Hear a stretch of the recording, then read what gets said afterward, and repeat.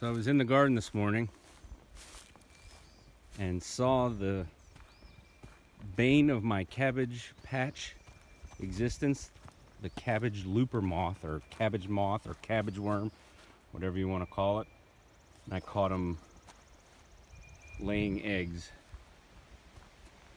in my cabbage. Wherever they go, wherever they touch, wherever they land, they leave burrowing worms who leave destruction and poop in their wake. So check out some of these videos of them laying their eggs and actually close-ups of the eggs themselves.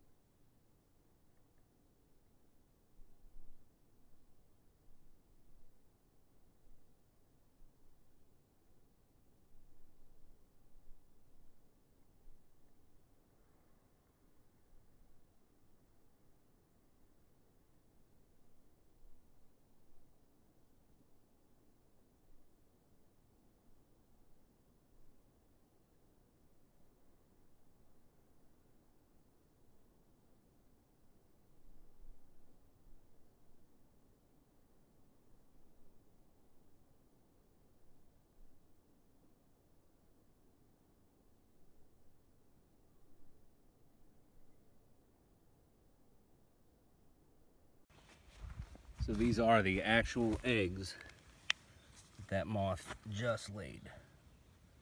See them right there. Right there at the tip of my thumb.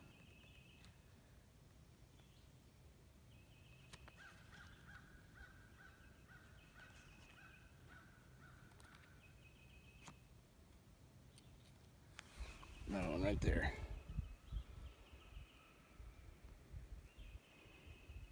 See it?